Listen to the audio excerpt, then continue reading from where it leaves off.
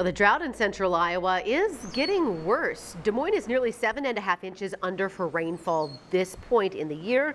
Iowa's largest water provider is asking customers to cut back on using water. Des Moines Water Works wants residents in the city to reduce watering their yards by 25 percent. Folks could water less of their lawn, perhaps just the front yard and not the back. If they're watering three days a week, they could cut back to two days a week or shorten the duration. Beyond that, uh, we're not asking people to do more, but it could get to the point where we need to. Suburbs around Des Moines also use its water supply like West Des Moines and Urbandale, creating a ripple effect of reductions across the metro. For instance, the Urbandale Water Utility is also calling for a 25% voluntary reduction in watering the yard. They say that will help get them over this hump. If that doesn't happen, there are other triggers in place if we went to a mandatory situation, it would uh, basically be us monitoring if we've seen uh, abuses that we're not adhering to that. We could be monitoring metering consumption, uh, some various avenues, perhaps even people calling and saying, hey, my neighbor's not doing that. We have never gotten to that stage. Hopefully, we never will.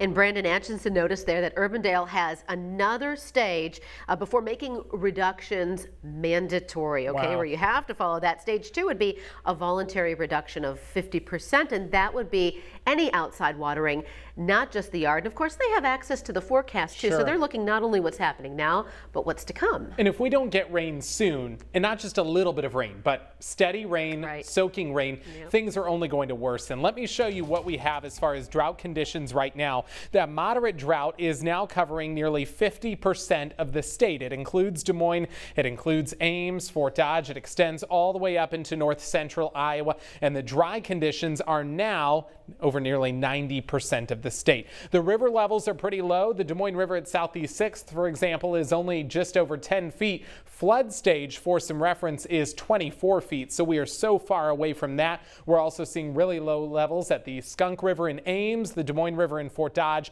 and of course, the one that we've been talking about the most here, which is the Raccoon River there at Fleur Drive. The chance of rain over the next two days is none. On Thursday, we've got at least a shot to see some morning and afternoon scattered thunderstorms, but until then, it's bone dry. We've got tons of sunshine out there. The high clouds have started to clear out. Nothing of note anywhere in our region, and that's concerning because we really need bigger systems to come through in order to get that rain.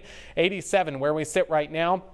The rest of tonight looks quiet, clear. Temperatures fall back into the 70s by 10 and 11 o'clock. We've got more hot weather on the way too, and we could see yet again the hottest day so far this year by the time we get to Thursday.